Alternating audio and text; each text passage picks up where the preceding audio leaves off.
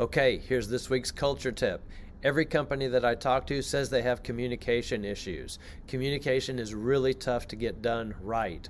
What happens in most organizations is the leadership tells the people below them on the org chart some sort of information. First problem is they don't repeat it enough. They think saying it one time is enough to say it. You've got to repeat it multiple times. It's like marketing. You don't really notice it until you've seen it eight or nine different times. So make sure you're repeating the information that you need for people to understand. The second thing is leaders talk too much. Leaders have town hall meetings or various other types of communication meetings where information is supposed to be shared.